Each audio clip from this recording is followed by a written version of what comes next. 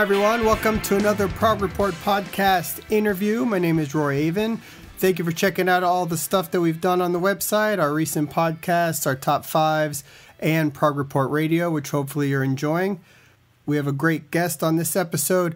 As always, you can check out all the podcasts and interviews on the progreport.com website, on iTunes, on Google Play, and on YouTube. Also, you can pick up your copy of the Essential Modern Progressive Rock Albums book, now available on Amazon UK. It's also available on Amazon over here in the States and on the Prog Report website features all the great bands from the last 25 years, including the band that our guest today is from, Spock's Beard, who are getting ready to release their 13th studio album called Noise Floor on May 25th. I'm very pleased to welcome Mr. Dave Meros. Hey, how's it going? Good, man. Good to talk to you finally. You're coming back on the cruise. They just announced it. Yeah. I mean, I figured as much that that was going to happen. Do you guys like doing that? Is it something fun or you, you don't like being on there? No, it's great. It's uh, the best kind of gig we can do, I think. I know when we did our first cruise, Progressive Nation at Sea, uh, in 2014, that was um, the first cruise I had ever been on. And, you know, in my life, I had never been really interested in cruising. It just seemed like kind of a lame thing to do. Right. And I didn't know what to expect on this. And I kind of went into it a little bit cynical and as soon as we got on board, it was like, oh, this is going to be great, and it it was awesome. The, the cruises are, I wouldn't have expected it, but they're great. Yeah, yeah, that seems to be the uh, sort of opinion when you know, at least after the first time going in, where uh, it seems like it might be so sort of weird but uh, it's such a it's such a fun time. The, the crowd is cool, and you you know you missed the the last one. I, they actually Larry and and uh, the cruise people they they had me uh, emceeing a bunch of stuff on the ship. So oh, that's cool. Uh, you know, maybe next time I'll get to introduce the band or host a Q and A or something. That'll be yeah, that'll be cool. I don't know. I guess they wanted to just mix it up a little bit. We didn't get asked on this last one. Well, you know, it's it's good to change it up here and there for for the audience purposes. I think. Uh, anyway, listen, I want to thank you first of all, which which I didn't get to do for everything you did for the book, for the, all the interviews. You were, I think, you were the first person to, to turn in some interviews for me for the book, and uh, you know, it came out really good and is and it's done really well, surprisingly. So, yeah, uh, it's great, um, yeah. and no no problem for me. It was my pleasure. Yeah. Well, also, congrats on the new album. Uh, I guess we'll officially start asking some questions here. Um, Noise Floor comes out May 25th. Uh, album number 13. Is that right? Yeah. I mean, could you have imagined your 13 albums in at this point? I mean, is that insane?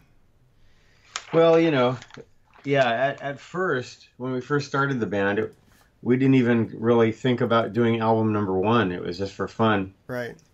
And after we did one, it kind of turned into a serious band and at that point you know i was hoping that we would get to 13 and beyond you know but yeah who knows? I mean very little is ever successful and uh, especially you know when you're dealing with weirdo music like prog rock.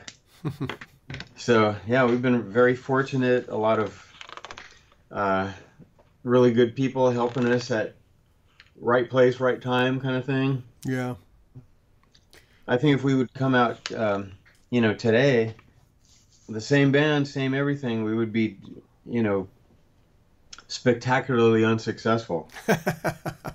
you know, I had this thought a little bit, which is you guys uh, make a unique, a, a particular brand of prog that sort of comes from that Genesis uh, family, I guess, so to speak. You know, that Genesis Yes kind of classic sound, and you guys do it in a, in a in a new way. And you guys were the first band to really kind of bring that back a little bit and do it in, in the way that you guys have, have done it so successfully. You know, and then there's a, a handful of other bands that I think sort of fall into that line, but I don't know if this this particular style of prog sort of dies with you guys almost, which sort of scares me. You know, because I look forward to a Spock's Beard album because it only sounds like Spock's Beard. If that ever goes away, it's gone. Uh-huh. you know, so I, I don't know what to do about that. Yeah, it, it's it's weird. I think when we came out in the '90s, people were ready for that, you know, because it's a lot of major chords, positive spirit, kind of fun, you know. I mean, that's what we were. That's what we wanted out of it. We were just jumping on the bed, you know, like kids jumping on the bed. We were just having fun. It's like, hey, man, just do this gentle giant part. Do this, you know. We are just having fun with the whole thing. And but I think prog has gone kind of darker. I don't want to say darker in a negative way, but more minor chords, more more deeper, darker sound. Yeah, for sure. Yeah, heavy, heavier, moody. Um, yeah, for sure. Serious message, a lot less playfulness. I've noticed, and I personally am not a, you know, I like the playfulness. Maybe it's because I'm an old guy, and all the bands seem to have that in the '60s and '70s. You know, the Beatles, the Stones. Um, not Pink Floyd, but uh, you know, a, lot of bands, you could sense the the fun in it, and and that's kind of a requirement for me. I mean, it's yeah, have... I never thought about that part of it, but that is that is, I guess, part of the thing that stands out is is the not taking it too seriously type of aspect that that uh, that you guys bring to it. It's true. So the album's been done now for a little bit, right? And it's being, you know, serviced to, you know, press and all this kind of stuff what what what goes through the band right now when you guys do that? You know, you you send the album into the label, it's done. Here you guys go. And now, what happens to you and everybody? Are you guys are you guys even talking regularly right now, or are you just waiting for the album to be out in May? well, we're talking pretty regularly now, but it's about other stuff. Um, you know, we're we did our little short run pre-order of the LP, and you know, setting that up required a little bit of communication. And then there's the cruise and some details. And we might we might do a tour in November. Uh, we're still in the beginning planning stages of that. So we're just talking about other business related stuff, not really the album so much. I mean, that was that was like a, a year long conversation, and I think everyone was kind of ready to stop thinking about that for a minute. Yeah. I mean, I'm really excited for everybody to finally hear it. Uh, I think it's as good as anything the band has done.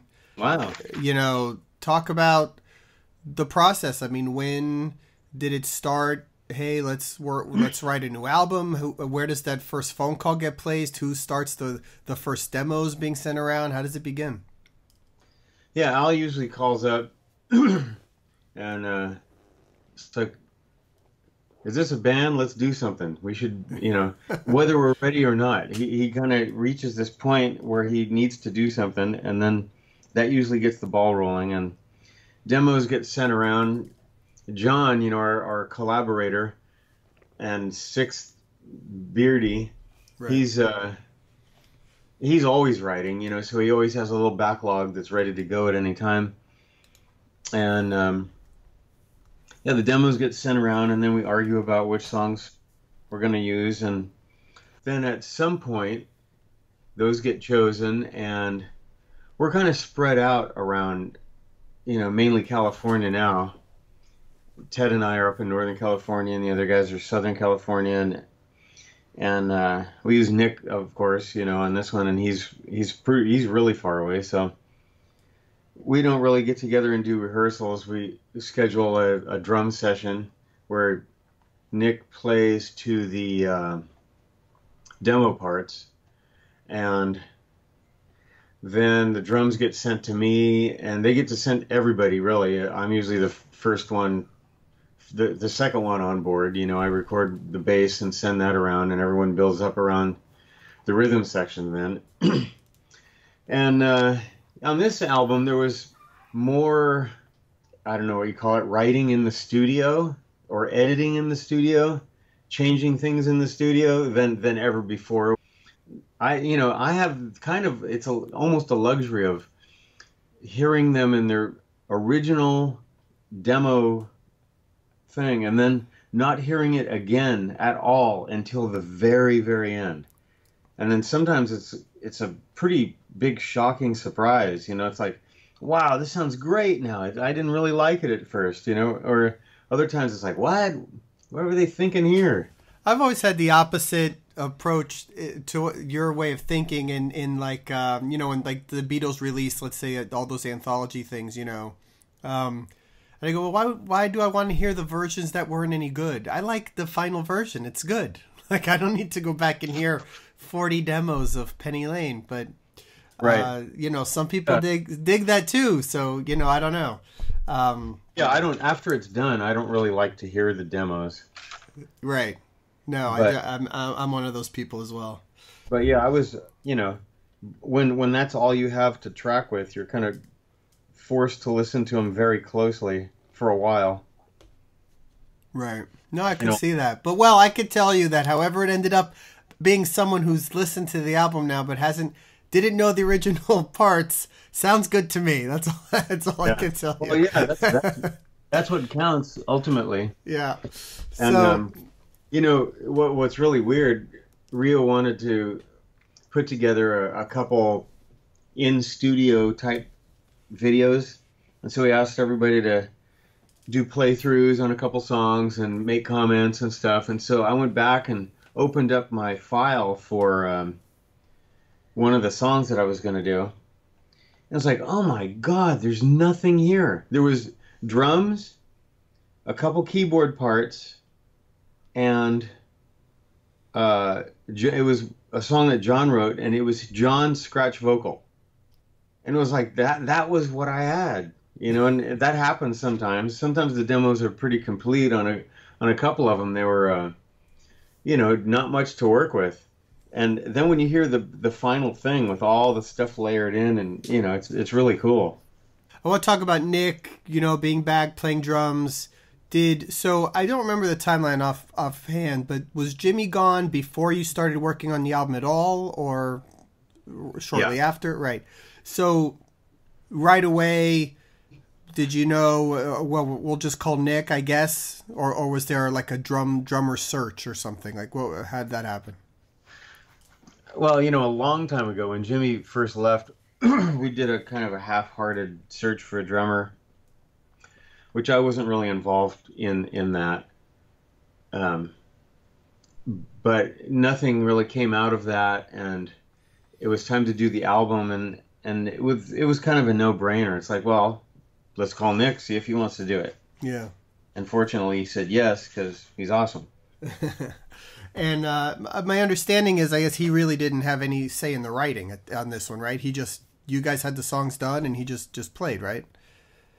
Yeah, yeah. They we went. Uh, well, we a couple of the guys. I think Al and Ryo and uh, Rich. Uh, they flew to Sweetwater. I can't remember who else was there. There might have been one more guy there. They flew out to Indiana and recorded at Sweetwater with Nick, and they just, um, you know, kind of, kind of hired gun type of thing. You know, two three days of blasting through drum parts. It's like, thank you very much, goodbye. well, he cer- I mean, he certainly has years of experience doing that, right? So it must have been a piece of cake, really. Especially Yeah. knowing knowing you knowing the music that comes from you guys. He's really good at at. Uh, he's a real quick study.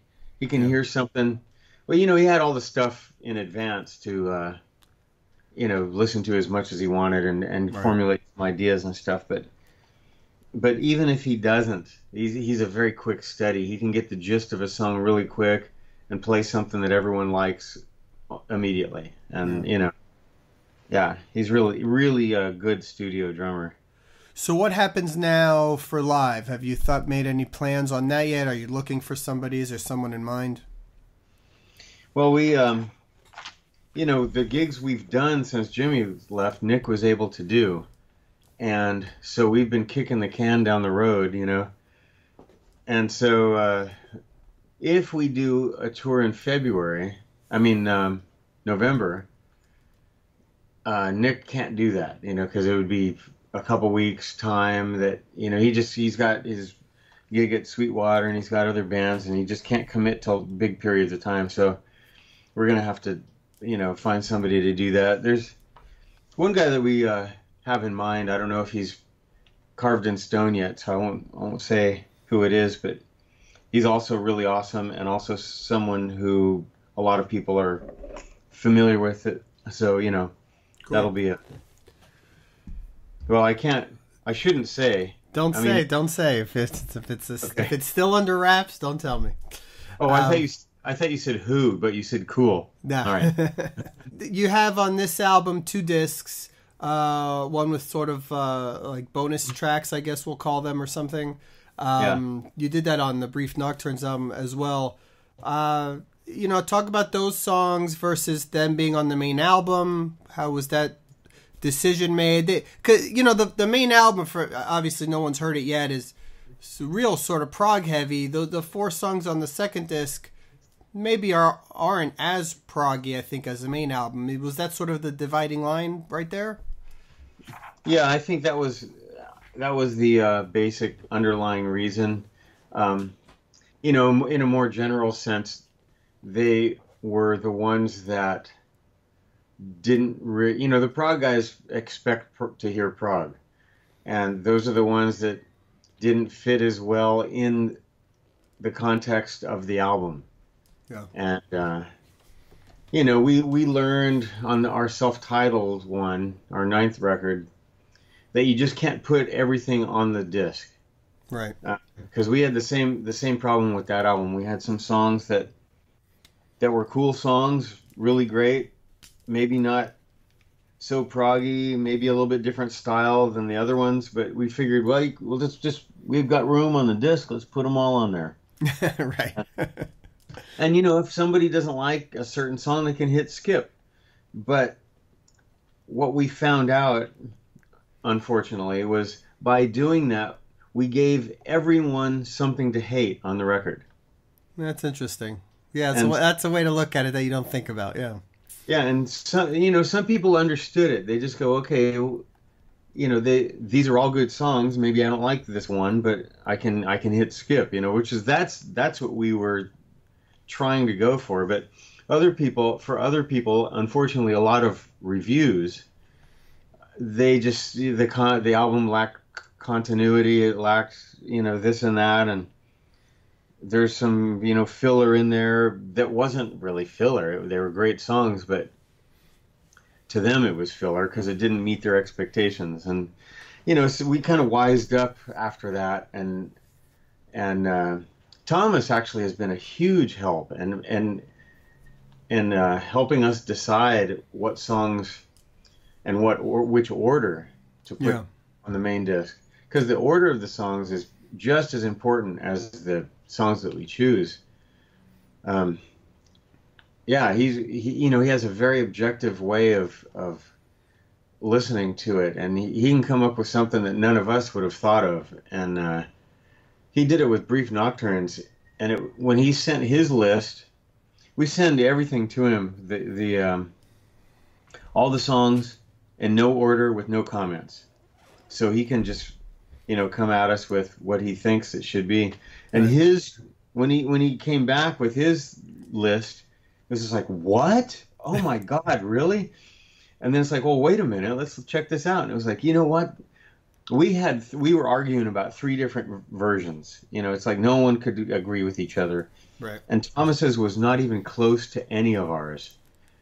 And it was like, well, you know what? I, I like thought through this and I think he's right. And, you know, so we went with his and, you know, of course that album was really well, did really well with the reviews and everything. So, you know, yeah, listen, he has an ear for that stuff for sure. I mean, that's he's yeah. been doing it a long time, and I and I I guess I mean I think it was he nailed it again on on this one from the opening track which I think is going to be the first single to, to Breathe Another Day.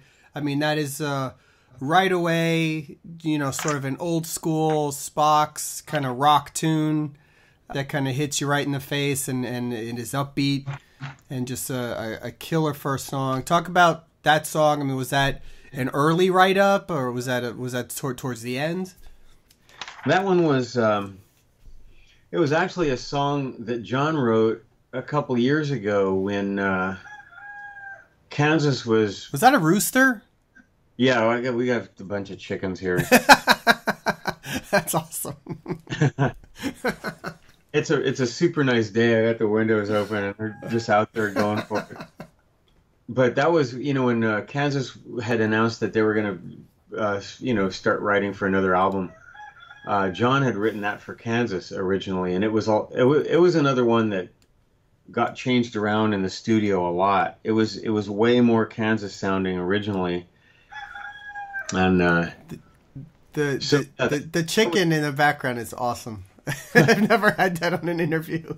It's tremendous. Um, it's not. I can barely hear him. I can't believe it's being picked up. It's yeah. It's it's awesome. Um, I'm totally gonna leave it in, which is gonna be great. Uh, so, um, look, the uh, yeah, I'd love to hear that that original demo if you ever do find it. I'd be really curious to to hear the difference. But I think um, I think it's a home run as as it is. I, I will say my my personal favorite, at least for now, has been this track "Somebody's Home," which yeah. uh, man, I think that's just one of the best songs the band has done in years. It just from the first minute I heard it, the first time listening to the album I was like, that's the that's the song. I don't think you. I don't think there's been a song like that in eh, that you guys have done. I don't know how to explain it. Yeah, that's. I feel the same way. That's that's in my top two, and I can't decide be, which was the fa- my favorite between the top two. Um, that's one of Ted's, you know, and and when he sent the demo over, or when I started cu- uh, cutting the bass, I just called him and I and I said, "Dude, this is such inspired writing. It's it's like right now, it's totally my favorite one by a long margin, you know." Yeah. And then and then I started recording uh, the bass for uh, uh, Stan's song that I'm spacing on the name of right now. Um, one so wise, and that one is that's my number two. That's I love that one. Yeah. I can't decide which one of those two I like the most but yeah, somebody's home It's just, especially you know when it gets going from like the second chorus on, it goes into that really awesome bridge, and then the vocals come back in. Oh man, it's just gorgeous. Well, that the the uh, the exact part uh, in the chorus where all the harmonies hit and you guys are singing j- just somebody's home. That chorus line is yeah. so powerful and just so perfect. Um, it's it's awesome. I love it. Yeah. I love it. Love it. So yeah, you know, there's there's a lot. I mean, the album is is definitely a prog album. There's no 20 minute epics, but every song is you know five, six, seven, eight minutes. It's it's really sort of long, substantial tracks on it. Um, you know, when you went into writing it, was there some kind of uh, benchmark you wanted to hit? Did you know? Were you looking for uh, sort of long uh, epic tracks? Was it supposed to be a prog heavy album? What, what were you going for when you when you were doing it? We just kind of we don't really think about it consciously. You know, by this time, you know, 25 years down the road, we kind of know what Spock's beard is. Um, but having said that, what we are isn't a really isn't a narrow definition. You know, it's a pretty wide definition but we kind of know what is not going to work, what we shouldn't be trying to do. Um, and so every when we think of Spock's beard er, and writing, everything just kind of goes into a a general format, and whether it's long or short, you know, I mean, we don't really decide that beforehand. If a song kind of wants to be long, it it becomes that it almost on its own. You know, we'd yeah. rather not do super long songs, but sometimes they just grow. You know. Yeah, totally. Let me ask you this: Now that the band has is getting ready to put out another album and do some shows and and kind of go through this cycle, do you ever think about what's the next 10, 15 years for the band? I mean, do you see just more albums and, and more stuff coming down, or is there was there a, a thought ever to you know after Oblivion Particle to maybe not making any more albums? I mean, where where or does that ever get discussed? Well, I don't know. I mean, we're we're not spring chickens anymore, you know. Um, Al and Ryo and I are in our 60s now, and uh, Ted's still a young whippersnapper. you know, there's there's a period where you just kind of get tired of, of doing it, especially in the environment these days with the music industry. Yeah. You know, we might not even have to make the decision about how long are we going to go. The decision may be made for us, you know, just by the music industry and by, you know, people just we'll, we'll like kind of go out of business by attrition, you know. well, yeah, I guess that's that's one way to look at it. So, anybody listening to this, buy the album, go see the show. Let's get one more album and tour out of these guys at least. Because, like I said, I mean, this is my my favorite type of music is the type of music that you guys do, personally speaking. So, you know, I I could hope that it goes on forever. and uh, certainly you guys don't look or sound like you're in your 60s if there is a look or sound for that i don't even know. But uh, you know look this album is great. Like i said it's it's it's powerful epic. It's as good as anything the band's done. And uh, i think a lot of people are going to dig it. So i i vote for more. I vote for more. Um, thanks dave. Thanks for for taking a few minutes to speak uh, and uh, yeah, looking forward to talking to you again, seeing you if not sooner, at least on the cruise next year, and I'm sure we'll talk again soon. Yeah, and where you you're at Florida? You're in Florida. Yeah, you ever come? You ever come down? Well, I do. I you know play with Iron Butterfly too, and we've been playing in Florida occasionally. You know, I don't. It's kind of a weird coincidence. I don't know why Florida, but um, we. Uh, you know, may get down there. So if I, I'll call you up if we're in the area. Yeah, for sure. That'd be great. Love to see you.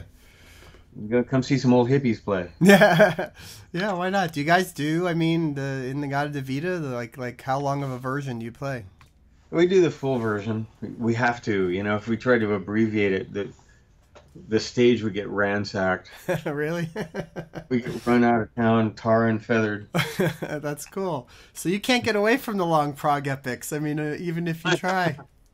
well, you know, you know, it's really weird. When I first got that gig, I started really digging into it. You know, because I had to learn a, a pretty big book of material, and and it was like, you know what? This was 1968 and that's when all of those pr- first prog bands were kind of getting started 60 in 67 68 and uh, there's a lot of prog elements in iron butterfly also a lot of metal elements yeah. that that would develop in other bands later.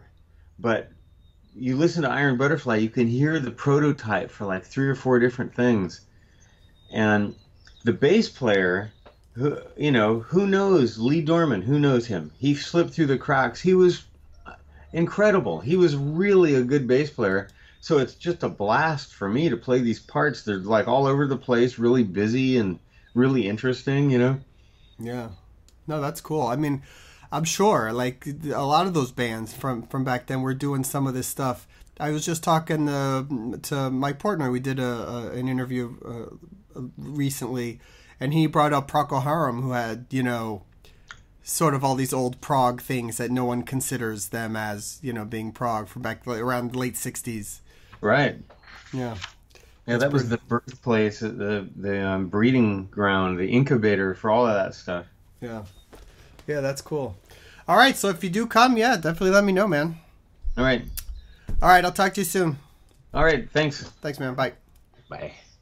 Thanks to Dave for the interview. Don't forget to pick up the new Spock's Beard album, Noise Floor. Comes out May 25th. We're going to play the first single off the album. It's the opening track called To Breathe Another Day. For upcoming news and interviews, please check theprogreport.com. Follow us on Facebook, at The Prog Report on Twitter, or download the podcast on iTunes and Google Play, or check us out on YouTube. Thanks.